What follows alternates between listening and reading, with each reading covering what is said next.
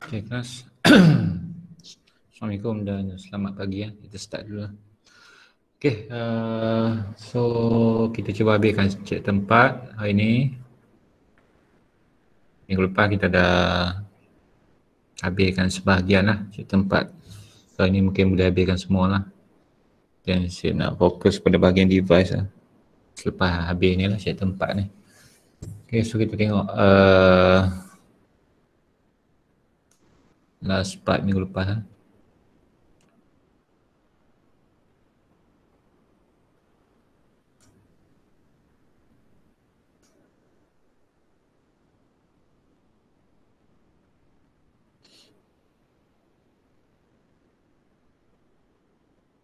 Okay, minggu lepas kita dah, dah masuk bahagian yang melibatkan conductivity dengan resistivity ya. So kita akan uh, continue semula. Last part yang kita dah tengok minggu lepas. Apa tak boleh turun uh, sebahagian ni dah tengok. Resistivity versus impurity concentration. Ini pun dah tengok. Derivative velocity Okay, yang example kita example ni pun last sampai sini kot. Tak silap saya lah. Tak apa kita tengok balik eh bahagian yang uh, example untuk resistivity lah. So kemudian example 3 resistivity. Find resistivity of intrinsic silicon dope with uh, mu n dengan mu p diberilah. Okay. 1450 dan juga 505 yang mana nilai bagi N sama dengan P sama dengan Ni okay, dia ada bagi nilai concentration. Ni kamu tengok itu adalah intrinsic silicon lah. bila intrinsic silicon ni nilai bagi uh, N dan juga nilai P sama lah ini intrinsic ni. So so dia kalau intrinsic concentration bagi N dan P tu sama berat sama banyak lah. So Ni sama juga dengan nilai Ni lah. Ni sama dengan uh, 9.65 kali 10 kuasa 9. Then formula untuk uh, untuk conductivity ya, jadi sigma lah. Sigma sama dengan E P mu P plus N mu N sama dengan E N I.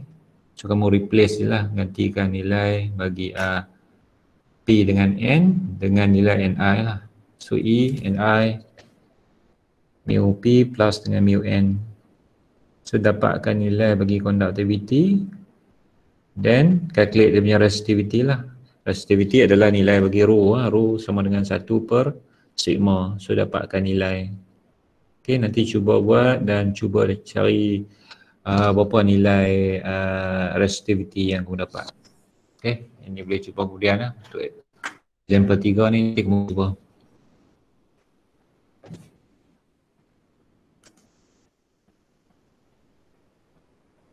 Okay, seterusnya example 4 eh, conduct uh, the concentration of donor impurities atom in silicon at T 300 Kelvin is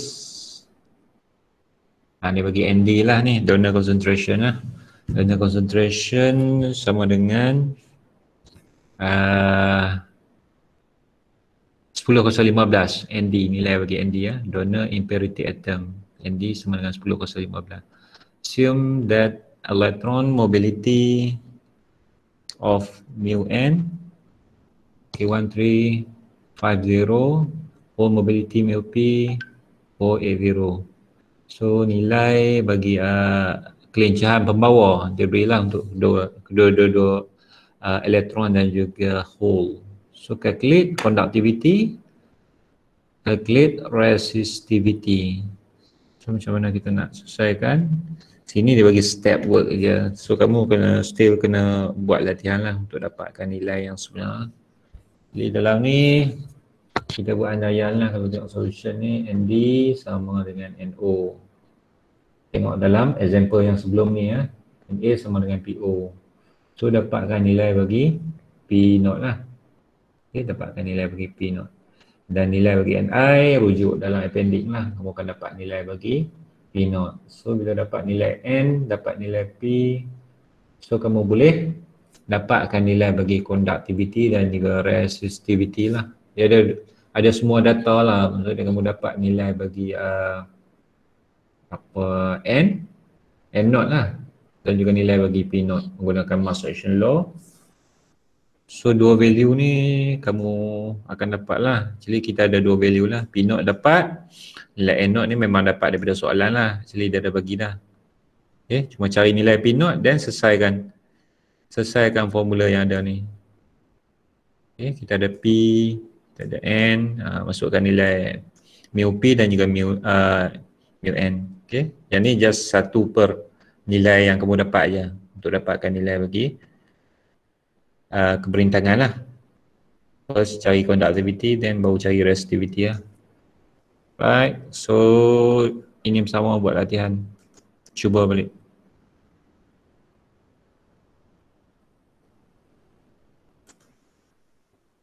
Alright, so kita dah masuk bahagian yang kedua lah. So topik yang kedua itu carrier division.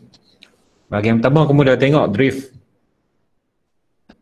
carrier drift. Sekarang kita dah masuk bahagian carrier division. Maksud dia uh, resapan pembawa kalau drift hanyutan. Okey hanyutan pembawa kalau yang uh, division ni uh, resapan. Okey jadi konsep dia adalah konsep uh, konsep resapan ataupun serapan lah. Okey tinggi konsentrasi kepada kawasan yang lebih rendah lah itu dia punya konsep uh, diffusion process. Maksud dia bila ada proses resapan dia akan move. So dia carrier ni boleh bergerak ke kawasan yang lebih rendah dia punya konsentrasi lah. Daripada high concentration pada low concentration lah. So the current component is called diffusion current. So ini. So dia kamu kena tengok keyword kat sini ni Okay, high to low ah. So dia high to low concentration area. Ini carrier pembawa. Dia kena move daripada kawasan yang berketumpatan tinggi kepada kawasan yang berketumpatan rendah lah. So yang ni yang kita kita kenali sebagai uh, arus resapan ataupun diffusion current lah. So kamu tengok dalam ni movement of carrier. Jadi dalam kawasan yang high region high concentration region dia akan move kepada uh, low concentration region lah. Okay. kawasan yang kosong. So dia ada movement lah kalau boleh tengok ni. Carrier yang padat ni dah, dah ada pergerakan ke sebelah kanan alright. So untuk uh, seterusnya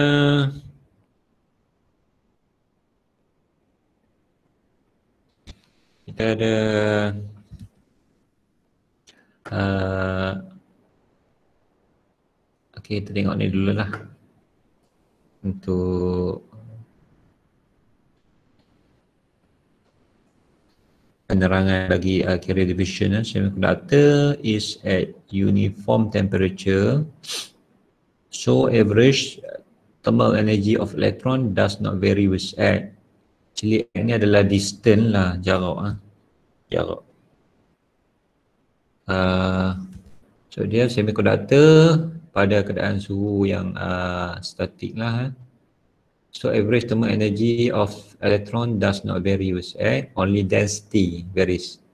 So dia ketumpatan saja yang yang uh, berubah.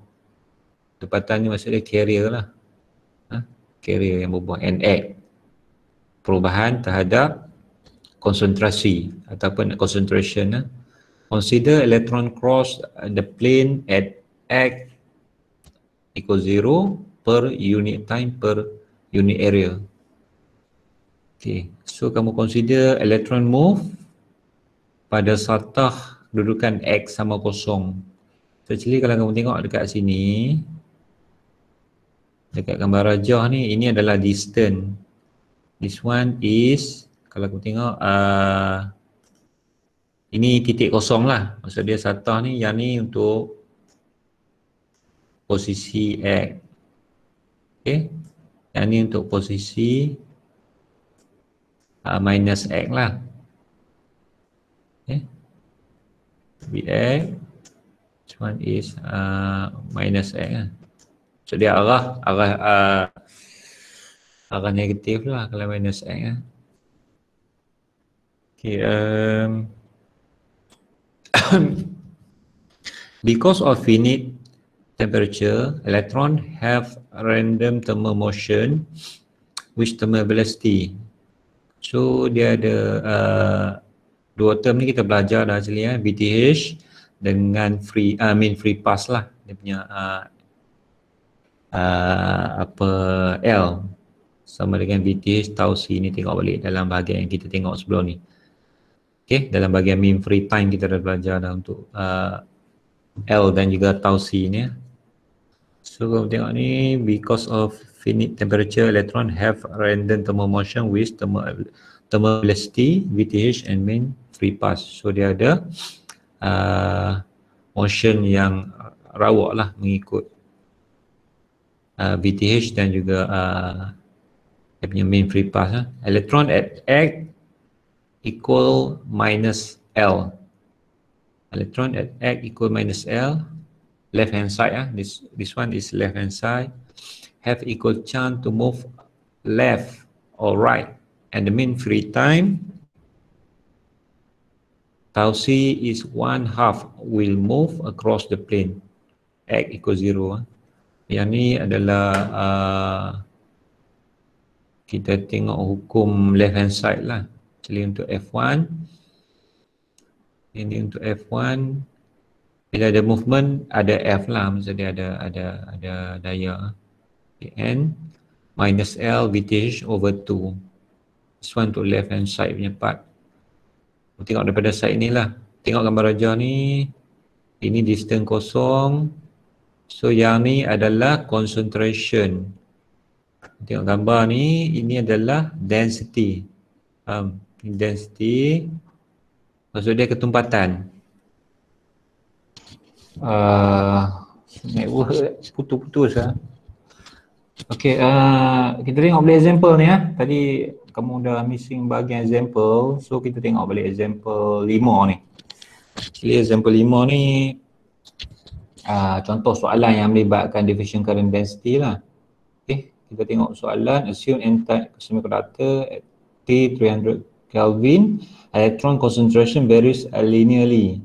So dia bagi nilai konsentrasi bagi elektron ni secara uh, ada dua nilai lah. Satu titik yang high concentration, satu low concentration. So kalau kita tengok dekat kat sini ni high, high to low lah. High to low concentration. Maksudnya konsentrasi, konsentrasi bagi elektron ni berubah daripada 1 kali 10 kuasa 18 pada 7 kali 10 kuasa 17 ni high, this one is low region lah. Pada distance 0.1. Okay, distance dia daripada jarak uh, titik kosong kepada titik 0.1. Faham tak distance? Distance untuk uh, pergerakan dia lah. Maksud dia uh, distance daripada uh, perubahan yang berlaku ni pada jarak 0.1 cm. Lah. Calculate diffusion current density uh, if the electron diffusion coefficient is the n equal 22.5 so dia bagi nilai uh, bagi uh, perkali resapan nilai bagi elektron konsentrasi. Okay, semua nilai ni dah diberi dalam soalan lah. Sekarang ni kamu nak cuba buat nak cuba selesaikan dia punya solution lah untuk diffusion current density. Soalan minta cari diffusion current density. So kita cari nilai bagi Jn lah ni formula yang kita pakai eh, actually untuk dapatkan nilai bagi diffusion current lah. Jn sama dengan Q dN, dN over dx. So Q adalah charge lah. Eh? Q adalah charge dan juga uh, uh, dN eh? dN adalah perkali rasapan. This one is diffusion coefficient eh? dia bagi dalam soalan 22.5. So yang ni dn over dx eh. Kamu refer dekat dn over dx ni actually dia punya penyelesaian dia mudah je. dn over dx adalah perubahan konsentrasi terhadap jarak. So ini adalah uh, dia punya work step work step untuk end over end ni kamu refer dekat solution yang uh, ni okay so masukkan semua value bagi uh, bagi J JN lah JN sama dengan Q masukkan nilai Q 1.6 kali 10 kuasa negatif 19 uh, nilai bagi DN nilai bagi DN eh DN 22.5 dan DN over DX Actually end over act kamu masukkan value yang melibatkan konsentrasi elektron lah. Okay, konsentrasi elektron. 1 kali 10 kuasa 18 tolak dengan 7 kali 10 kuasa 17. Jadi high to low concentration lah. This one high, this one low lah. Bagikan dengan 0.1. Jadi yang ni adalah 0.1 tolak kosong. So kita tak tulis lah benda tu. So kamu buat dia punya dx dia 0.1 je lah. Okay calculate semua value then last kamu akan dapat nilai arus resapan dia adalah 10.8 uh, ampere per sentimeter persegi. Okay, boleh faham tak ni? Contoh yang example 5 ni. Boleh faham ke tak boleh faham? Boleh sir, boleh. Boleh ha? Direct ya. Direct uh, direct masuk value je lah. Ha? cuba fahamkan dari segi electron concentration dengan distance. Kalau di, carrier division ni dia ada dua benda kamu kena faham. Satu dn, satu lagi adalah dx. Okay? Dx adalah perubahan jarak dan dn adalah perubahan bagi konsentrasi ya. This one is dn over dx. Punya part lah yang kamu kena uh, kena buat eh. Baik, so kita tengok next exercise. Ha, exercise ni kamu kena cubalah. Kena cuba buat eh. Calculate diffusion current density.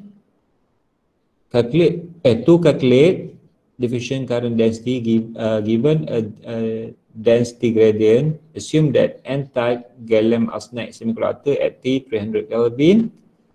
The electron concentration varies linearly from ha, dia bagi nilai yang ni nilai yang uh, electron concentration lah ha, yang berubah daripada 4 kali 10 kuasa 18 pada 6 kali 10 kuasa 17. Okey, bagi distance 0.5 cm. Calculate diffusion current density if electron uh, diffusion coefficient end Sekejap eh. Oh, oi. Kelas, kelas. Lagi lagi pukul satu.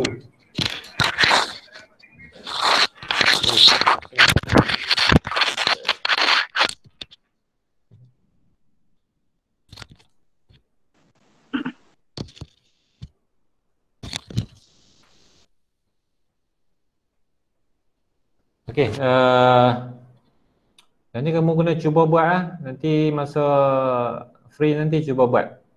Macam tadi kat sama ya. Ambil nilai dn over dx tu uh, 4 kali 10 kuasa 18 tolak dengan 6 kali 10 kuasa 17 bagi dengan 0.5 tolak kosong lah. Distance lah.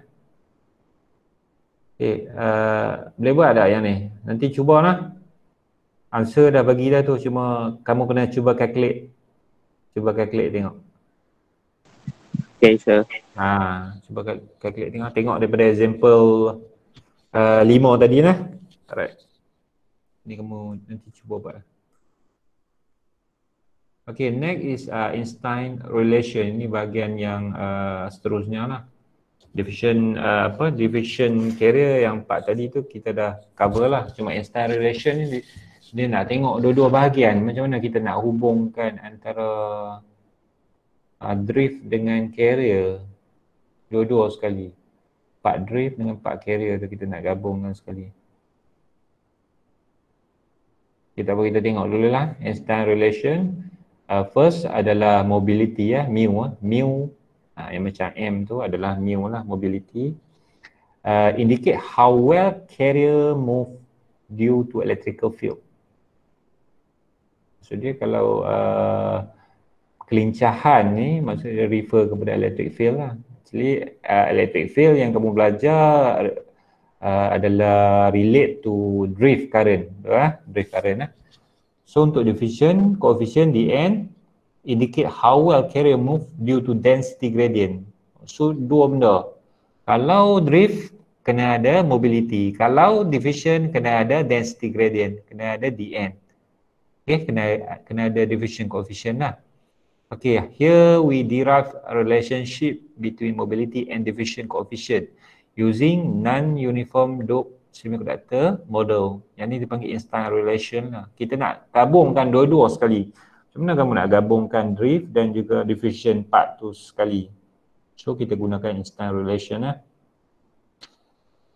Alright, uh, great impurity distribution daripada gambar ni tengok this one uh, refer to uh, diffusion carrier punya part lah elektron non-uniform dope semiconductor. So kalau refer dekat energy band, so dia ada dia ada pesongan juga pada pada energy band. Okay, kamu tengok level bagi EC, level bagi EV itu ada berlaku pemesongan. Dia tenaga lah, pemesongan tenaga. Right. Right, doping concentration decrease as X increase. Okey, kalau tengok konsentrasi ni akan berkurang dengan pertambahan jarak. Okey, doping concentration berkurang dengan pertambahan jarak. X tu ingat eh, X adalah jarak daripada titik kosong tadi. Maksud dia uh, proses resapan tu dia kena berlaku pada jarak tertentu. Pada titik X kan. Uh, so bila lagi banyak dia merosak, lagi lagi rendah lah dia punya uh, konsentrasi. Okay. Okay. Uh, electron diffuse in plus X direction. Actually elektron ni dia meresap dalam arah positif X lah. Dalam arah positif X. Okay. Electron diffuse in plus X direction. The flow of electron leave behind positively charged donor. Okay, maksud dia dari segi uh, aliran elektron dia akan meninggalkan positif charge lah. Maksud dia uh, ada timbal balik lah. Bila elektron move akan ada positif charge yang akan uh, tinggal. Okay, induced electrical field EX uh, sama dengan tolak KT over E yang darabkan dengan 1 over NDX D, uh, over DX. Okay, so yang ni kalau tengok ni panjang kita ambil uh, dia punya formula dia actually ringkas aja. Ini just nak terbitkan formula lah. Proses untuk terbitkan uh, instant relation punya formula. Okay, uh, yeah. Yeah.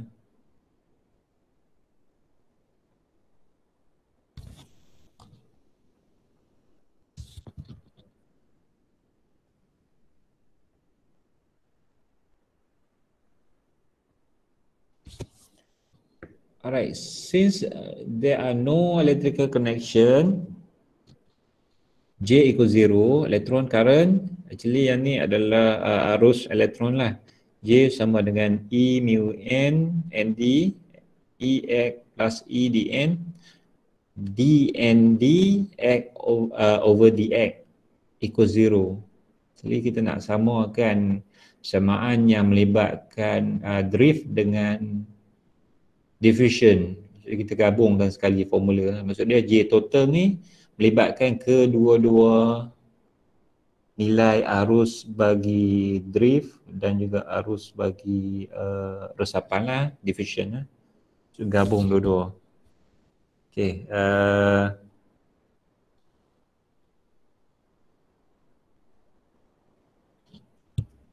kita tengok next lah. Okay, instant relation. Okay, yang ni equation satu dan dua. dn over mu n sama dengan kt over e. Whole current must also be zero. So dp over mu p sama dengan kt over e juga. Ingat eh, term yang kita pakai ni bukan dn saja, kita ada dp juga. Kalau tengok, dn ni merujuk kepada elektron punya side Yang dp adalah hole punya part lah. Ni bahagian yang melibatkan hole. P, this one is N. Okay. Contoh example yang tunjuk tadi untuk electron concentration. Kalau hole concentration adalah uh, bahagian yang melibatkan dp lah dan juga mu p ya. Ni bahagian d, dn over mu n sama dengan kt uh, over e. dp over mu p sama dengan kt over e. So sama lah actually dua ni sama kita boleh samakan dn over mu n sama dengan dp over mu p sama dengan kt over e.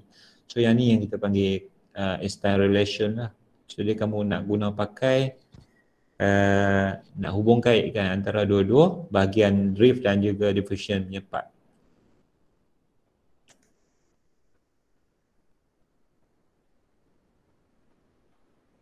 Okay, so Equation from theorem of equipartition uh, of energy for one case can be written as okay yang ni untuk uh, teorem bagi uh, equipartition ya, masa setengah mm VTH 02 sama dengan setengah KT elektron boleh ditulis sebagai elektron mobility ya boleh ditulis sebagai Q tau C over Mn so using equation in 6 dengan 7 ni kita terbitkan instant relation dn sama dengan vth darabkan dengan l sama dengan mu n kt over q okey so yang ni kita tengoklah hubungan ni dn ni dn sama dengan mu n kt over q Okay, kita tengok contoh ha. Satu contoh yang melibatkan instant relation. Alright. Uh, untuk uh, instant relation minority carrier hole are inject into homogeneous n-type semiconductor sample and electric field E equal 7 uh, E equal 50 volt per cm is applied across the sample and the field move this minority carrier a distance 1 cm in 100 micrometer. Find the drift velocity Vp and diffusion and, and diffusivity. Okay, dp ya. Yang ni adalah perkali resapan. Ya. Cuma yang ni adalah untuk hole. Okay. Hole electron, uh, hole concentration. Ya. Hole coefficient. Ya. Yang ni of the minority carrier. So untuk solution untuk dapatkan nilai bagi uh, drift uh, velocity Vp sama dengan L over X. So kita masukkan nilai bagi L distance eh distance adalah 1 cm. Okay dan juga dia punya X adalah 100 micrometer, 100 micrometer sama dengan 100 kali 10 kuasa negatif 6 lah. Okay. Uh, dan dapatkan nilai bagi BP lah. BP 1 kali 10 kuasa 4 cm per second. Then whole mobility ya, mu P sama dengan VP over E. So yang ni masukkan nilai yang baru kamu dapat lah. Nilai VP tu 1 kali 10 kuasa 1 kali 10 kuasa 4 bagikan dengan nilai E yang diberi dalam soalan lah 50 volt lah 50 volt per cm so kita dapat mu P 200 cm kuasa 2 over Vs dan nilai bagi uh, DP diffus diffusivity yang ni yang kita nak cari lah actually ya DP sama dengan mu P KT over Q so masukkan nilai bagi uh, mu P 200 KT sama dengan 0.0259 bagikan dengan Q. Q adalah nilai bagi charge. Ya. 1.6 kali 10 kuasa negatif 19. So kita akan dapat nilai DP 5.18 cm kuasa 2 per second. Okay. Kita cuba buat latihan lah. This one bahagian yang libatkan style relation ni. Mesti kena. Kena cuba buat lah. Okay. Uh, alright.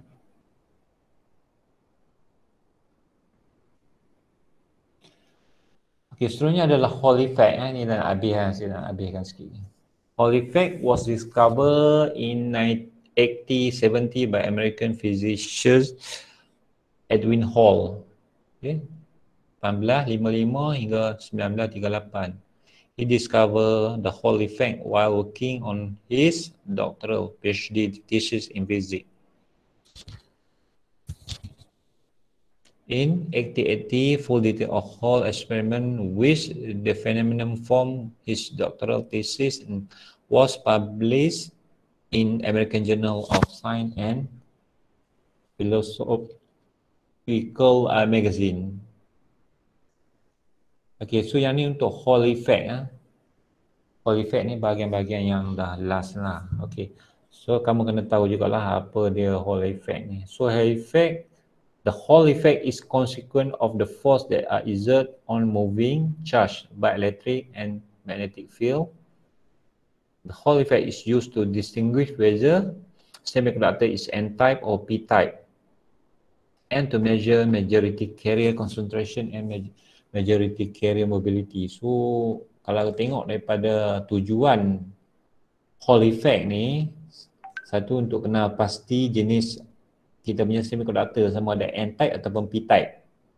Ini satu adalah untuk kita kita mengukur ataupun mengira lah dia punya majority carrier. Majority carrier concentration dan juga majority carrier mobility. So, kita boleh tentukan value-value ni daripada Hall effect punya eksperimen yang dijalankan lah tadi.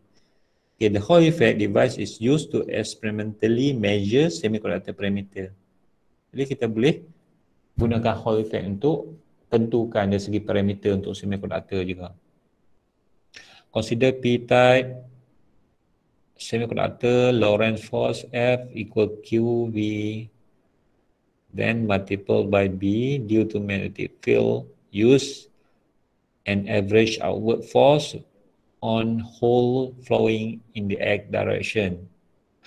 Outward direct, directed current causes the accumulation of hole at the top of sample that rise to a downward electric field EY. No net current flow along the y direction in the steady state electric field along y side balance the Lorentz force.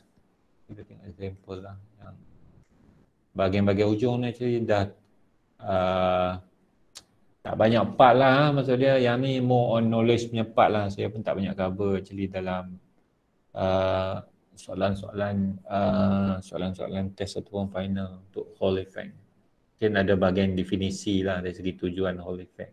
Bahagian-bahagian yang melibatkan collision part ni ni rasa tak tak tak masuk lah tak masuk dalam test atau dalam final punya part okay more on knowledge punya part lah saya ambil surface ya bahagian yang melibatkan uh, Hall effect establish electric field is known as a Hall effect while electric field EY is called Hall, Hall field the terminal voltage called Hall voltage VH equal EY W Hall field. So yang ni formula yang melibatkan Hall field. Okay. Where RH sama dengan Hall coefficient equal 1 over Q QP. Yang ni adalah uh, Hall effect punya measurement lah okay, force on charge particle in magnetic field ataupun uh, kita kenali sebagai Lorentz force F sama dengan QB darabkan dengan uh, B. Okay, actually ini adalah eksperimen yang dijalankan lah. Macam mana dia nak measure dari segi uh, semiconductor parameter, uh, parameter, nak measure type of semiconductor sama ada N ataupun P type. Okay. Yang ni saya tak detail out lah. Nanti kamu ambil sebagai knowledge punya part lah. Yang bagian yang melibatkan uh, Hall effect lah. Nak skip-skip je lah. Okay, contoh satu yang melibatkan diffusion current density. Uh, ini soalan yang melibatkan Hall effect lah. Sample with of silicon is doped with okay, 1 kali 10 ke 16 uh, phosphorus atom find the whole voltage in sample with W dia bagi 500 micrometer A sama dengan 25 kali 10 kuasa negatif 3 cm kuasa 2 this one is uh, L sama dengan 1 MA dengan BZ diberi nilai 10 kuasa negatif 4 WB over CM kuasa 2 dan ni nanti cuba buat lah cuba cuba buat menggunakan solution yang ada ni. Maksudnya formula yang melibatkan RH dengan VH okay? Dengan bukan dapat dia punya value lah untuk Hall coefficient dengan Hall Hall voltage lah ni cubalah dia. Tengok banyak lagi tak oh, habis lah Okay, so habis bahagian yang melibatkan chapter 4